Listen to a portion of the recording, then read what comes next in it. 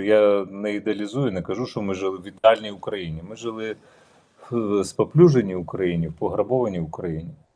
І нам треба її зробити іншою, новою, красивою, в якій хочеться жити.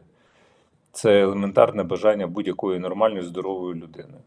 Думати наперед, а не думати про збереження своєї дупи десь за кордоном. І в цьому є проблема Щегеля, між іншим, який написав листа, що давайте ми запишемо нову програму. Не запишемо. Просто не запишемо. Тому що ти нікому не цікавий. Виступай в Дітройті перед е, чорношкірими, е, безхатьками і безробітними, тому що Дітройт поруйноване місто, тому що звідти пішла корпорація Форд. Ніхто не сумнівався, що ти опинишся в глибокій дупі. І в тебе не буде світлого майбутнього, тому що бумеранг ніхто не скасовував.